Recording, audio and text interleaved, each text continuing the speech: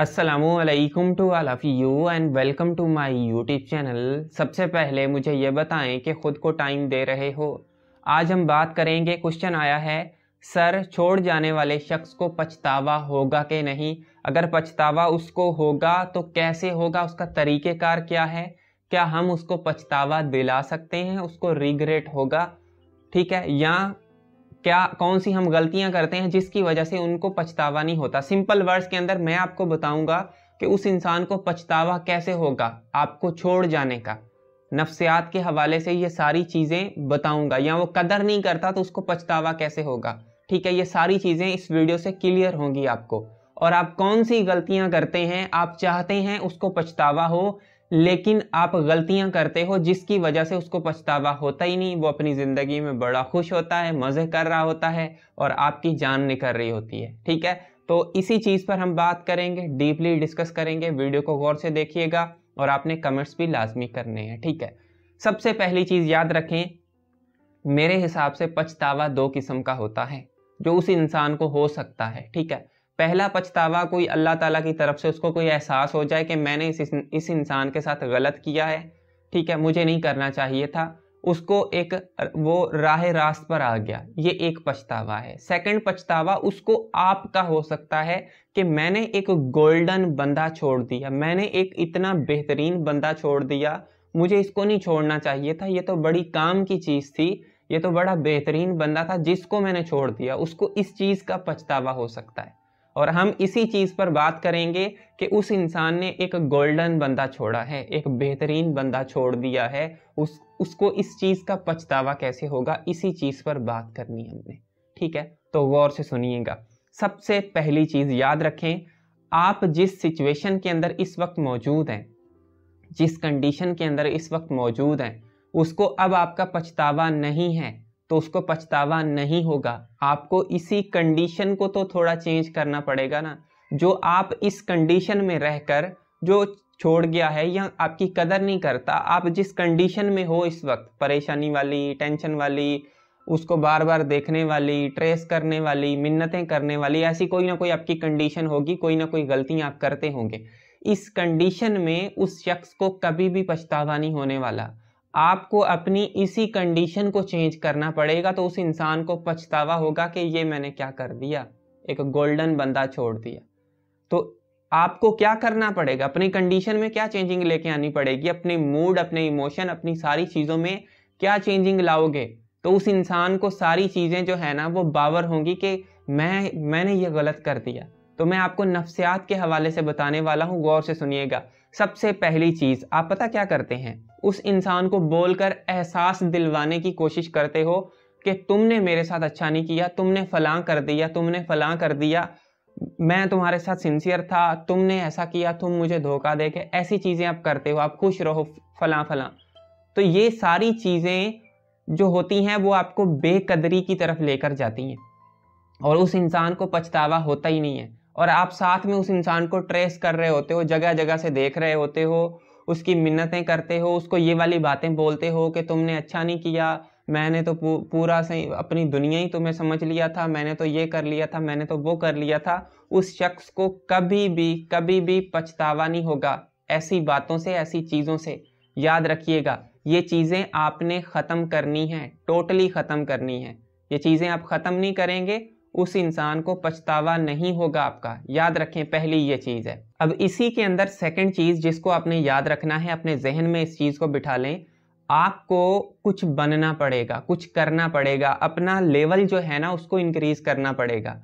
जब तक आप अपना लेवल इंक्रीज नहीं करते, कुछ ऊपर नहीं जाते, उस इंसान को पछतावा नहीं होगा। आप उसी सिचुएशन के अंदर, उसी कंडीशन के अंदर, वहीं पर बैठे हुए हैं, वहीं पर मर रहे हैं, वही सिचुएशन है। बिल्कुल वही इंसान हो, पुराने वाले। बल्कि पुराने वाले से भी आप पीछे जा रहे हो, अपनी कंडीशन को ख़राब कर रहे हो, अपनी चीज़ों को ख़राब कर रहे हो, उल्टा कुछ लोग अपने आप को नुकसान देना शुरू कर देते हैं, वो अपने आप को टॉर्चर करते हैं, अपने हाथों को, अपनी चीज़ों को। तो ये सारी चीज़ें आपको उल्टा आपकी कंडीशन को आपकी सिचुएशन को पीछे लेके जा रही होती हैं। और जितना आप पीछे जाते हो, उतना ही उस शख्स को रिग्रेट नहीं होता। ठीक है ना? आपने अपने आप को पीछे नहीं करना। अपने आप को आगे बढ़ाना है, अपने लेवल को आगे बढ़ाना है, अपने काम को आगे बढ़ाना है। और ये सारा कुछ कौन कर सकता है? आप कर सकते हो।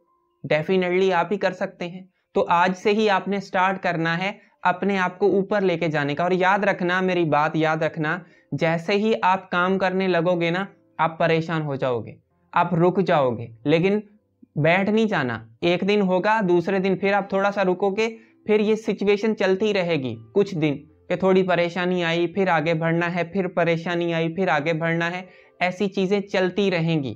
ठीक है ना? तो ऐसी चीज़ों को सोच के कि बस मुझे परेशानी आ गई अब तो मैं नहीं निकल सकता। तो आ, कोई टेबलेट नहीं है ठीक है ना जो आपने खाई और आप बिल्कुल पता नहीं कहाँ पर पहुँच गए। ये ज़िंदगी है यहाँ पर वक्त लगता है। थोड़े कदम उठाने पड़ते हैं फिर ही जाकर इंसान किसी मकाम तक पहुँचता है अदरवाइज़ हम नहीं पहुँच सकते। याद रखना ये मेरी बात बहुत गहरी बात है ये ठीक है?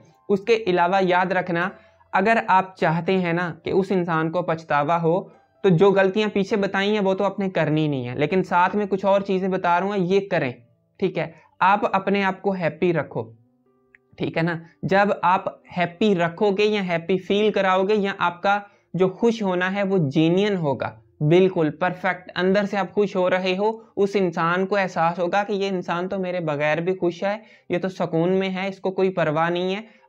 तो वो उस इंसान को पछतावा होगा। लेकिन कुछ लोग कहते हैं कि वो इंसान तो फिर और आगे जाएगा, ये खुश है अपनी ज़िंदगी में। भाई, फिर वो इंसान तो आपके साथ टके का भी सिंसियर नहीं था। ठीक है ना? वो जाता है, जाने दो। ठीक है ना? जाता है तो उसको फिर जाने दो। अगर उस इंसान के अंदर थोड़ी सी भी, इतनी सी भी आपके लिए मोहब्बत होगी ना, उस इंसान को पछतावा होगा। लिख कर ले लें।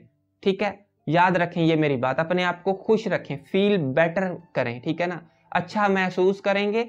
वो इंसान जो है ना आपके बारे में सोचेगा। मैं हमेशा आपको कहता हूँ कि लोगों के जहनों में क्वेश्चंस चलाओ। जब वो क्वेश्चंस चलते हैं ना, किसी भी हवाले से, वो क्वेश्चंस जब चलते हैं तो वो इंसान आपकी तरफ़ सोचता है, पलटता है, कहता है कि ये क्या हो गया, किस वजह से ऐसा हुआ है? तो क्वेश्चंस चलेंगे जब आप अच्छा फील करोगे, खुश रहोगे। उसके जहन में ये क्वेश्चन भी चल सकता है, क्या पता इसको कोई और शख्स मिल गया, कितना हैप्पी है। मेरे बगैर ज़िंदगी में कहाँ चला गया ये? उस इंसान को पछतावा होने वाला है फिर ठीक है? उसके साथ याद रखना अपने अंदर और बाहर को अपने खूबसूरत बनाना है। अंदर और बाहर ये पॉइंट मैंने क्यों रखी है? इसको ज़रा गौर से सुने। हम क्या करते हैं? ज़ाहरी खूबसूरती को जो है ना बड़ा अच्छा कर लेते हैं। अच्छे कपड़े पहन लिए अच्छी शर्ट पहन ली बा, बालों का स्टाइल अच्छा कर लिया ठीक है? गाड़ियों में बैठ गए ये स्टेटस लगा दिए। बाहर से तो अच्छे हैं लेकिन अंदर हमारे परेशानी है। अंदर से कोई चीज़ हमें खाई जा रही होती है। तो वो जो अंदर से चीज़ हमें खाई जा रही होती है ना, उसी चीज़ की वजह से हम आगे नहीं बढ़ पाते और उस इंसान को पछतावा भी नहीं होता। क्योंकि अंदर आपके कुछ ना कुछ है ना, अंदर से आप खोखले हो, जैसे वो दरख्त एक होता है, अंदर से खोखला होता है, उसको एक वो बीमारी लग जाती है, अंदर वाली चीज़ उसकी खाई जाती है। ठीक है? तो वो किसी काम का नहीं रहता। बाहर से देखने में को बड़ा खूबसूरत लगता है, लेकिन जैसे ही आंधी आती है, गिर जाता है, क्योंकि उसका उसका अंदर खराब हो गया।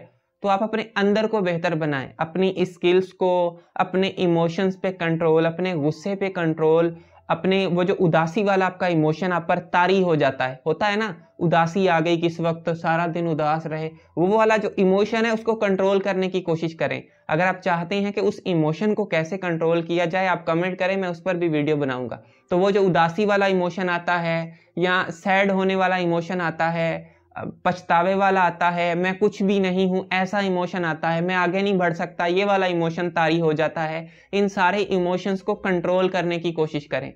आहिस्ता आहिस्ता आप कंट्रोल करना सीख जाओगे और उस इंसान को फिर होगा पछतावा। क्योंकि आप अंदर और बाहर से सेटिस्फाई हो रहे हो, अंदर और बाहर से बेहतर हो रहे हो, ठीक है ना? अपनी स्किल्स को भी इम्प्रूव करें। और बाहर से बेहतर होने का ये नहीं, शेव बढ़ा ली आपने शर्ट्स अजीब अजीब किस्म की पहनी हुई हैं, कपड़े अजीब किस्म के हैं, ठीक है ना? दाढ़ी बड़ी हुई है, औरतों की थ्रेडिंग करने वाली है तो ये सारी चीज़ें जो है ना, असर डालती हैं। याद रखना ये मेरी बात, ठीक है? अब आते हैं फाइनल पॉइंट पे, इसको बोलते हैं play the psychology psychology card ठीक है? इस सिंपल वर्ड्स के अंदर साइकोलॉजी कार्ड ठीक है? इसको बोलते हैं साइकोलॉजी कार्ड इसका मकसद क्या है? गौर से सुने जब आप उस इंसान के साथ सपोज़ बात करते हो या मिलते हो या कॉल पे बात करते हो, कुछ भी होता है तो आपने इस कार्ड का इस्तेमाल करना है। इस कार्ड को बोलते हैं कि पता क्या है? आपने कभी भी उस इंसान के साथ ना, वो जो आपका वक्त था ओल्ड जो गुजर गया, उसके बारे में बात करनी ही नहीं फील करवाना ही नहीं है। कि आपको वो चीज़ याद, आप नॉर्मल इंसान की तरह उससे मिल रहे हो, अगर बात हो रही है तो कर रहे हो। जैसे कुछ हुआ ही नहीं जैसे कुछ था ही नहीं। तो इसको बोलते हैं साइकोलॉजी कार्ड इससे उस इंसान को एहसास होगा, ये क्या हो गया? ये इंसान बिल्कुल नॉर्मल बिल्कुल इस इंसान को तो मैंने छोड़ दिया था, इसकी कदर करना छोड़ गया था मैं। ये नॉर्मल घूम रहा है। तो उस इंसान को रिग्रेट होगा फिर। क्वेश्चन से चलेंगे इस इस चीज़ से, इस नफ्सियात की टिप से। ठीक है ना? ये अगर आप अप्लाई करते हो, सुकून करें।